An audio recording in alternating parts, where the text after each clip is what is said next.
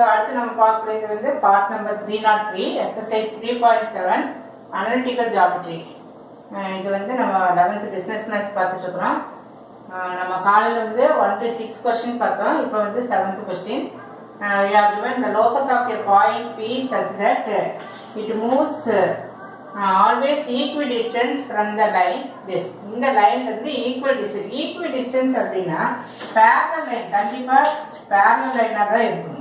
ஏன்னா இந்த parallel லைனா இருந்தாதான் இந்த ரெண்டுக்கும் இடையில இருக்கிற டிஸ்டன்ஸ் வந்து சேமா இருக்கும். நம்ம சம் கான்ஸ்டன்ட் கே அப்படின்னு கூட சொல்லலாம். ஸோ இந்த டிஸ்டன்ஸ் ஈக்குவலா இருக்குது அப்படின்னு சொல்லி சொன்னா கண்டிப்பா அந்த ரெண்டு லைன்ஸுமே வந்து பேர் ஆஃப் பேரல் லைன்ஸா இருக்கும். அப்ப பேரல் லைன்ஸ் நமக்கு தெரியும். இந்த இது மட்டும் கான்ஸ்டன்ட் மட்டும் வேரி ஆகும். இந்த எக்ஸ்கோஎஃபிஷியன்ட் ஒய் இது எல்லாமே ஆசிட்டிஸ் அப்படியே இருக்கும். Only constant is changing so இந்த ஆப்ஷன் வந்து நமக்கு கரெக்டு செவன்த்தில் ஏ ஆப்ஷன் வந்து கரெக்டாக இருக்கும். அப்போ இதுக்குரிய ஆன்சர் வந்து செவன்த்தில் a because only constant is varying அப்போ அந்த ஆப்ஷனை நம்ம செலக்ட் பண்ணுவோம். இங்கே செவனு அங்கே டூ மற்றதெல்லாமே பார்த்தா சேமாக இருக்கும். நம்ம coming to the eighth question k x square plus three x five minus two y square equal to zero represent pair of line which are perpendiculars அப்போ ரெண்டு லைன் வந்து ஒன்று ஒன்று பர்பண்டிகுலராக இருக்கணும் அப்படின்னா கண்டிஷன் வந்து a plus b equal to zero that means x ஸ்கொயரோட கோஎஃபிஷியன்ட்டும் ஒய் ஸ்கொயரோட கோஎஃபிஷியன்ட்டையும் ஆட் பண்ணால் கண்டிப்பாக அது என்னவாக இருக்கணும்? ஜீரோவாக இருந்தால் வித் இம்ப்ளை இந்த டூ லைன்ஸ் ஆர் பர்பண்டிகுலர் அப்படின்னு கண்டிஷன் நம்ம புக்கில் கொடுத்துருக்கு. ஸோ தட் இங்கே மைனஸ் டூவாக இருந்ததுன்னா கண்டிப்பாக கேயோட வேல்யூ என்னவாக இருக்கணும்? ப்ளஸ் டூவாக இருக்கணும். அப்போ தான் நமக்கு வந்து 2 minus 2 equal to 0 அப்படின்னு சொல்லி எழுத முடியும் and we are given 1 comma minus 2 is the center of the circle x square plus y square this one and then you have to find the radius you are given uh, one point அடுத்தது இந்த சியோட value தெரியும் அப்ப ரேடியஸ்க்கு வந்து formula root of minus இங்க g square plus இந்த minus கூட விட்டுட்டே எழுதிக்கலாம் f square then minus c minus ca plus cr சரி ஆன்சர் வருதுன்னு செக் பண்ணிக்கலாம்.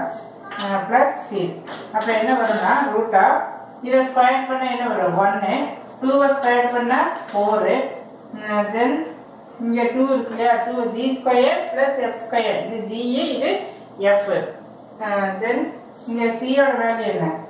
மைனஸ் ஃபோரா அப்போ இந்த இடத்துல வந்து இந்த இடத்துல ஃபார்முலாவில் இங்கே மைனஸ் இருந்தால் தான் இந்த மைனஸ் இந்த மைனஸ் என்ன ஆகும் ப்ளஸ் ஆகும். அப்போ இங்கே plus four so root of nine so that is equal to three அப்போ இந்த ஆப்ஷன் ஏ வந்து கரெக்ட் ஆன்சர்னு அர்த்தம். We do the next sum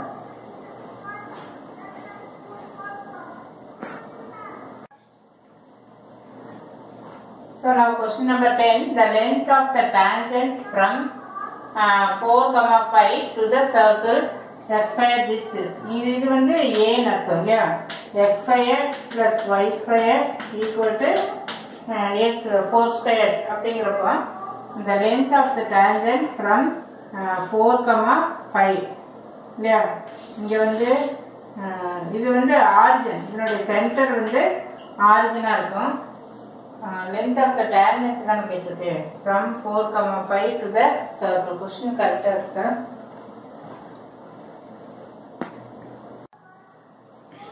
so இது கொஸ்டின் வந்து கரெக்டு இங்கே நம்ம அப்படியே இந்த இது ப்ளஸ் சிக்ஸ்டீனை இந்த பக்கம் கொண்டு வந்தேன்னா மைனஸ் சிக்ஸ்டீன் அப்படின்னு ஆயிடும். லென்த் ஆஃப் த டேஞ்சன்ட் பாருன்னா அப்படியே ரூட் வேல்யூ எடுக்கிறது. Root of f one square plus y one square அந்த மைனஸ் சிக்ஸ்டின் அப்படியே எழுதிட்டு எக்ஸ் ஒன் ஒய் ஒன்னுக்கு அந்த வேல்யூ வந்து நம்ம சப்ஸ்டியூட் பண்ணுறோம் ஜஸ்ட் இந்த எக்ஸுக்கும் ஒய்க்கும் எக்ஸ் ஒன் ஒய் ஒன்னு சேஞ்ச் பண்ணிட்டு substituting x value and y value so four square five square minus sixteen அப்போ இங்கே என்ன வரும்? Sixteen then twenty five minus sixteen இது இது கேன்சல் ஆகிட்டு ரூட் ஆஃப் டுவெண்ட்டி ஃபைவ் என்ன? ஃபைவ் ஸோ இதனுடைய ஆன்சர் வந்து ஃபைவ் அப்படின்னு சொல்லும் so length of the tangent அப்படின்னா ஜஸ்ட் ரூட் ஆஃப் போட்டுட்டு அந்த ஈக்குவேஷனை அப்படியே எழுதிடு. எக்ஸுங்கிற இடத்துல எக்ஸ் ஒன்று ஒய்ங்கிற இடத்துல ஒய் ஒன்று சேஞ்ச் பண்ணிட்டு for x one you substitute the x coordinate and for y one you are substituting the y coordinate and the next one is the focus of the parabola x square equal to sixteen y is இப்போ x square equal to sixteen ஒய்னா இந்த மாதிரி போகும். இப்படி வந்தா Y ஸ்கொயர்னு வரும். இது வந்து x square equal to sixteen y அப்படிங்கிறப்போ இதனுடைய ஃபோக்கஸ் வந்து zero comma a not a comma zero y square equal ஆரம்பிச்சிருந்தா focus வந்து ஏ கமா ஜீரோ எக்ஸ் ஸ்கொயர்னு வர்றப்போ இதனுடைய focus zero comma a a என்ன? ஃபோர் சிக்ஸ் இந்த four a equal to sixty அப்போ ஏ ஈக்குவல் டு ஃபோர் எப்பவுமே இங்க என்ன நம்பர் இருக்கோ அதை அப்படியே ஃபோர் ஏக்கு ஈக்குவல் பண்ணணும்.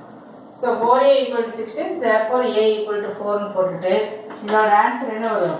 Zero comma four you understood இது எக்ஸ்பைன் வந்துன்னா இங்கே வந்து ஃபோக்கஸு ஜீரோ கமா ஏ இதுவே ஒய் ஸ்கொயர் அப்படின்னு வந்திருந்தா ஏ கமா ஜீரோ அப்படின்னு சொல்லி வரும்.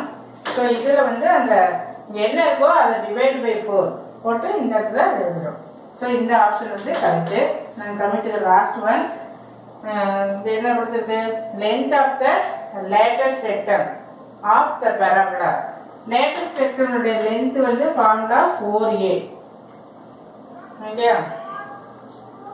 இங்கே லென்த் அப்படிங்கிறப்போ நம்ம மைனஸை விட்டுருவோம். நான் ஏற்கனவே இப்போதான் இந்த வீடியோவில் சொன்னேன். சாரி இந்த இடத்துல சொன்னேன். இந்த இங்கே என்ன நம்பர் இருக்கோ அது வந்து ஃபோர் ஏக்கு ஈக்குவல் அப்போ length of the latus rectum formula வந்து ஃபோர் ஏ அப்போ இந்த ஃபோர் ஏ ஈக்குவல் டு இந்த இடத்துல மைனஸ் விட்டுட்டு இந்த இடத்துல டுவெண்ட்டி ஃபைவா அங்கே என்ன எடுத்துருக்குறது ஒரே ஒரு மிஸ்டேக்கு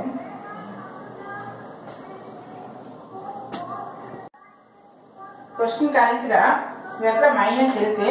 பட் நம்ம லென்த்னு எழுதுறப்ப நம்ம என்ன பண்ணுவோம்? அந்த மைனஸ் விட்டுட்டு four a equal to twenty ஃபைவ்னு எழுதி இந்த ஆப்ஷன் வந்து கரெக்டு ஸோ அடுத்து கொஸ்டின் நம்பர் தேர்ட்டீன்லேருந்து வரக்கூடியது வந்து நம்ம அடுத்த வீடியோவில் பார்க்கலாம். சார்